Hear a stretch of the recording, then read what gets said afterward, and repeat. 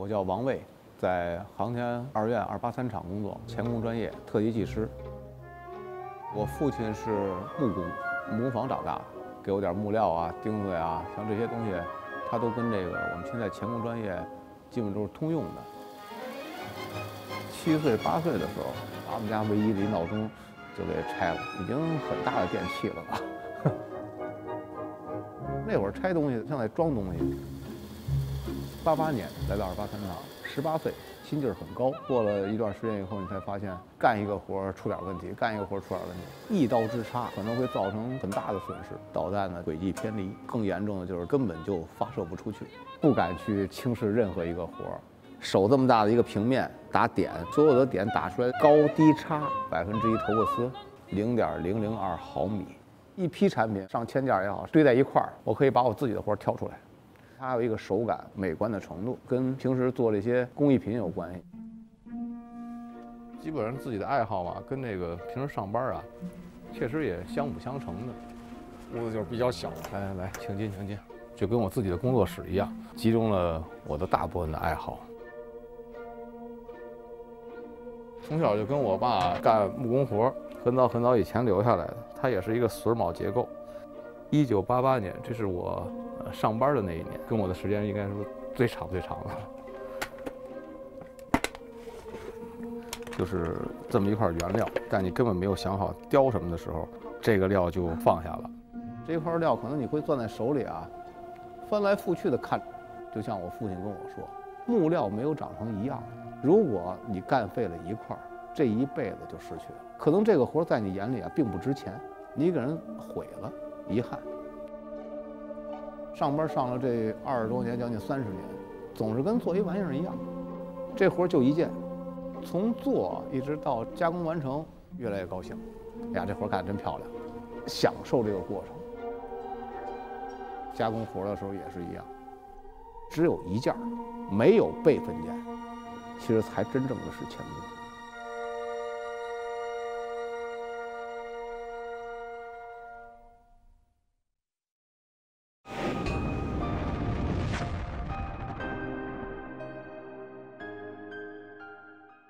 小朋友们、同学们啊，特别欢迎你们来到我们胡同里边的一个秘密的花园。第一朵，你来选，你选哪个？哦，好，那那这个姐姐选了啊。接成落地以后呢，这个就是我们陆生植物的第一种，它是从它的叶背上面，它会长一些包子。包子可以吃吗？不是吃的包子吗？不是肉包子啊。它是肉包子是菜包子呀。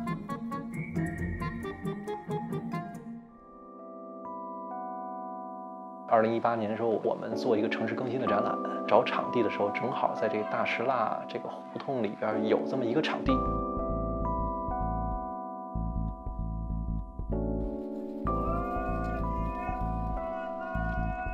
大头公司他说：“你们的更新啊，其实大部分都做的是城市的那种区域的更新。他说，但是我们大石蜡不一样，但是也很迫切的需要更新。这个区域属于城市化中的一个遗留的。”这么一个区域，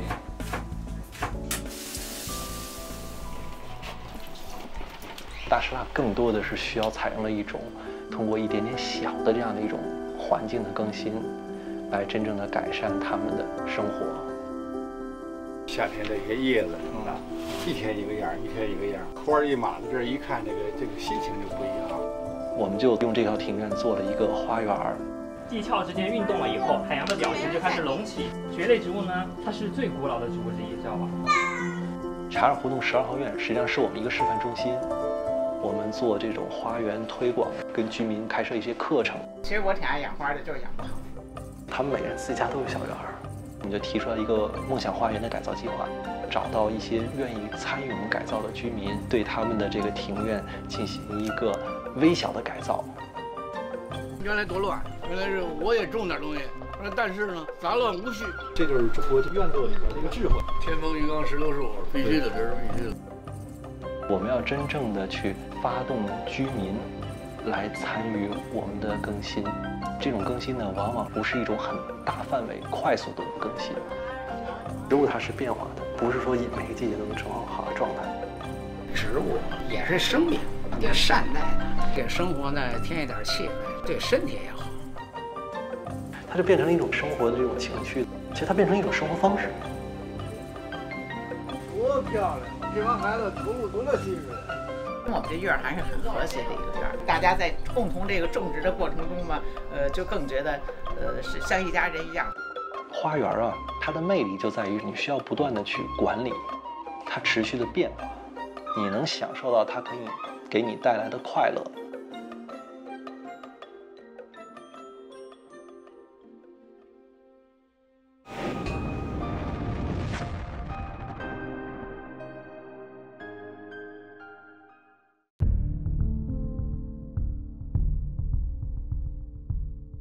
是说所有人都能参加到这工程建设中来的。国际眼光、千年工程，是一种新的洗礼和锤炼。我是作为建工集团指挥部技术质量的部长来进驻这个项目。事儿多，现场的实物量、现场的这个质实体质量全都要看，发现问题及时的落实整改。原本以为公司可以只做很少，我反正二十多年了没有这么做过。工期的紧迫性要求也很高，拿出了我们诚信的方案。但是即使是这样，后期采用的这个电半热还有未尽人意的地方。现场的实验两次三段都进行系统分析。第一场雪，我们心里真的没底。冒着雪去现场去检查，我们知道我们的这种方案是成功的。我查查当时报的是谁啊？我要查很详细，我要把这东西落实到人头上，把哪些东西整理出来。这个时候我可能挺强势的。如果你理解了，你去干可能会更好。那你不理解的话，那你现在就要按照我的执行。为什么这儿有灰啊？就是你一趟，你要趟过去了，它就你看这块儿，就这地儿，这是砖的问题吗？你这边平了，这边不平是砖的问题吗？这边没压下去。因为我站在全局统筹的基础上，就得跟设计碰这个缝儿怎么办？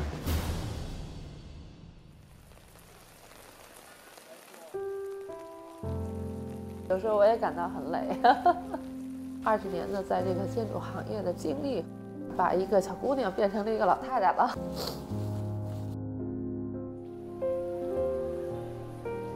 二十多年前刚参加工作的时候，为什么没有这个气场？你没有能力，你没有经验，你是个白丁。那经过了这二十年呢，我可能具备了一定的经验和能力。该处理它就处理它呗，那怎么办啊？这两根水管贴着楼板出来的，你防水没法做了，这块板子上的防水。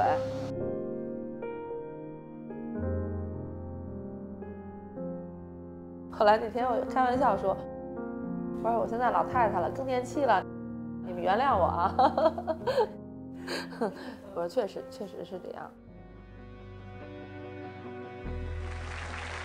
那天我倒下了，盛典我没有参加。扛了扛，扛不住了，一直在手机上看，看到了这个盛况，确实很激动。这个 A 不能说是第一，但是要永争第一的这种精神，永不服输。